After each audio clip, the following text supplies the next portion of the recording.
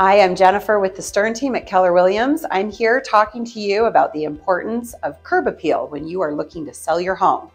Um, it depends on the weather, depending on the season that you are looking to sell. If it's spring and summer and you have great flower beds, you are going to want to make sure that you take out the weeds, any debris, make sure those flower beds are show ready. If you don't have landscaping, such as flower beds, um, make sure that your bushes are trimmed, the grass is mowed. Your front porch should be inviting and welcoming, getting rid of cobwebs and debris, um, you know, maybe a fresh coat of paint around the door, making sure any windows are fully clean and ready.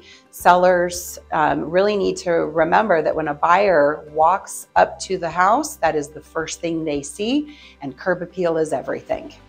If you have any questions about the importance of curb appeal and staging your home, give us a call, text, or email. We would love to help.